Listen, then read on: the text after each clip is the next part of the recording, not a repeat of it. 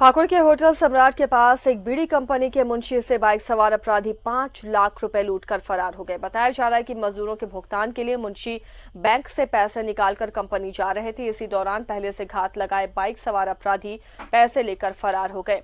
इधर घटना की जानकारी मिलते ही एसडीपीओ घटनास्थल पर पहुँचे और आसपास में लगे सीसीटीवी फुटेज को खंगाला गया।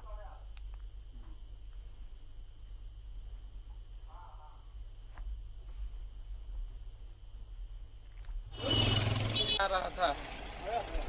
आते आते वो सम्राट दुकान के सामने मेरा हाथ से थैला लेके निकल गया मोटरसाइकिल से। आप कुछ पैदल थे? पैदल। कितना रुपया था? पाँच लाख दस हज़ार। उसके पास क्या हथियार भी था? हथियार उथियार नहीं था शायद। कॉलर का था वो? दो। कहना है कि रेलवे क्रॉसिंग उस पार लोग भागे। इस संबंध में सभी जगह चेकिंग की जा रही। और सीसीटीवी फुटेज कितना रुपया की लूट हुई है और क्या अपराधी हथियार के साथ थे? नहीं ऐसा दोनों अभी चूँकि अनकॉन्शियस है वो बहुत कुछ बता भी नहीं पा रहा वो सही है कि